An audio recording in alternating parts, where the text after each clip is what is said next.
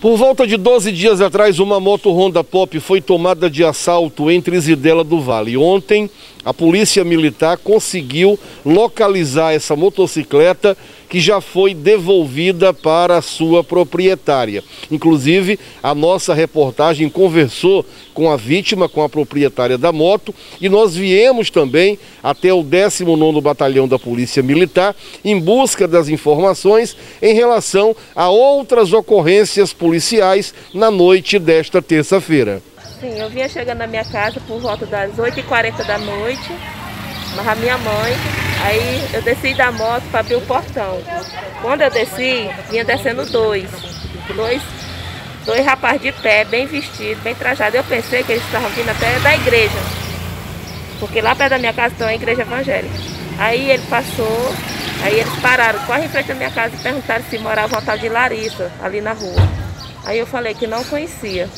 Aí disse assim, como é o nome dessa rua? Aí eu falei, Travessa São Francisco. Quando eu falei Travessa São Francisco, eles deram um pulo em cima de mim. Aí ele arribou a camisa, mostrou o revólver e disse, aqui é um assalto. Passa a chave da moto agora. Aí eu fiquei assim, em pânico.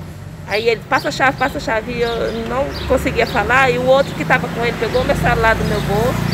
E ele disse, dá logo um tiro nela, dá um tiro nela. Aí ele pegou o revólver, deu um tiro para cima. Aí ele viu a chave que estava no cadeado, quando que aí abriu o portão, ele pegou a chave, aí mutaram na e foram embora. Um momento de desespero que é muito difícil esquecer. Ah, difícil demais, que eu pensei que eles iam me dar um tiro, realmente. Porque eu não conseguia falar, que eu fiquei muito nervosa, com medo, mas graças a Deus.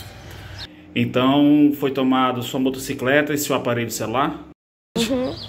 E agora, depois de 12 dias, tendo a felicidade de rever a sua moto, quem tem a agradecer? Quero agradecer a Deus, primeiramente, e também a, a população que fizeram a denúncia e a polícia militar que encontraram minha moto. Sabe Ela estava como- abandonada lá no povoado Pau Gelado, Matadouro. Foi encontrada hoje. E agora, Muito feliz e tomar mais cuidado ainda. quando chegar alguém perguntando informação, pedindo Não, na informação, hora que eu ver alguém de longe, eu raio dentro de casa logo e me troco. Não pode confiar mais em ninguém, não.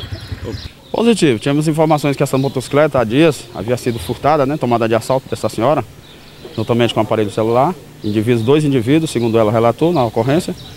E agora pela manhã recebemos a notícia que havia uma motocicleta abandonada, né, próximo à ponte do Matadouro, né. Mas só foi até o local, foi feita a constatação, verificou-se a motocicleta, foi trazida a motocicleta e apresentada aqui na delegacia para as medidas cabíveis. A população tem contribuído com o trabalho da polícia em relação a essas denúncias sobre essas motos que são abandonadas. Positivo. Essa motocicleta, ela estava com a placa adulterada, né? É, justamente para a prática de assalto ou para dificultar a identificação da mesma, né? Tenente, ontem nós tivemos a procissão de São Pedro, bastante movimento, muita gente na rua. Tivemos alguma outra ocorrência na noite desta terça-feira? Não, nenhuma outra ocorrência, tudo na Santa Paz, viu? Transcorreu tudo na normalidade.